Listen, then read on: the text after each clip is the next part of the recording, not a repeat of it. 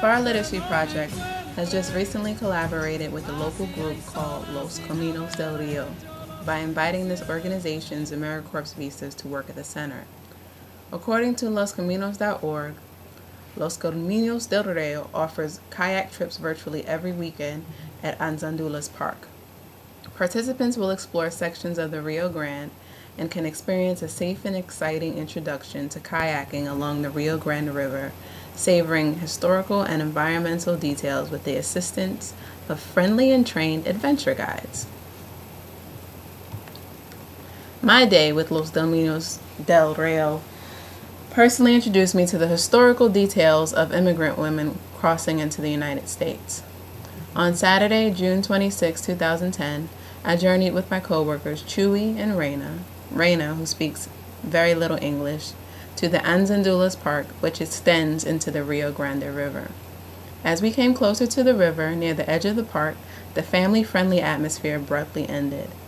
The armed border patrol station, barbed wire, and yellow government access gates signify that not everyone is welcome, especially not illegal immigrants crossing the Rio Grande into the United States. While we waited for our turn to kayak down the Rio Grande, Chewy, Reina, and I decided to find our own adventure and walk along the grassy riverbank in hopes of getting close to the dam. Reina and I were afraid of the snakes that Frank, our guide, warned of. We tiptoed along the rocks in the high grass holding hands. Soon we would grasp hands in recognition of a more sinister fear, something that rocked us to our cores. Just a few steps in front of us, I noticed a pile of black stuff. Snake skins! I screamed. Reina and I jumped back, squealing like little girls. Chewy, the brave man, stepped forward and picked up the snake skin. Reina yelled at him not to as he flung the skin towards us.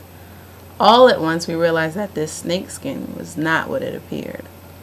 The snakeskin was actually a torn pair of black women's panties. Reina and I weren't scared anymore. We were safe.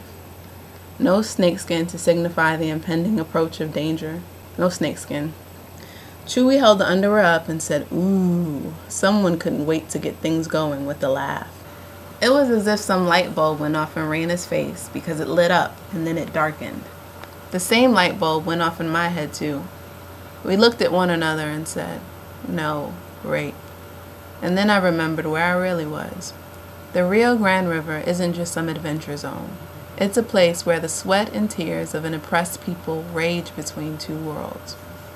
I was on the banks of the Rio Grande River, where thousands of poor immigrants from Mexico and other Latin American countries cross the United States in a month. Many of these travelers are poor defenseless women depending on coyotes to make their way across the river into the United States.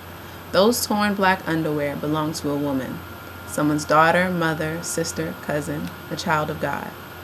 I didn't know if her left behind undergarment signified that she had been abused. I didn't know if she was an immigrant coming to the United States to find work to feed her children. I still don't know if she was a pretty young girl manipulated by the Mexican drug cartels to carry drugs inside her body and across the, the border. I didn't know anything about her except for what she left behind. I thought of all this as Reina whispered the word rape in an eerie echo. She knew just as I did what those underwear meant. We had a sister moment that defied our language barriers. My grasp on her hand got a little tighter as we walked further up the bank. Chewy didn't make any more comments as he walked ahead of us. A group of adventurers joined us in our nature walk, and we all jumped in the river and free floated with the current until we reached the shore again. A few people remarked that they felt they were doing what their ancestors did years ago. They laughed as they said these things. It wasn't funny to me, in light of finding the black panties. After stumbling upon the black panties, the Rio Grande River didn't look the same. The sand on the bank near the dam looked scattered as if a struggle had just taken place. The water looked cloudy, murky, and dangerous. I got in it anyway. I kayaked. All for adventure, right? Mm, no. I was in sacred water and should have acted accordingly. I will, though, when I reach its shores again. Watching the news coverage of the new immigration law in Arizona hit home after my day long adventure. I had been on the border I'd seen and felt some things. It was real there. There are snakes in the grass in the Arizona State Senate.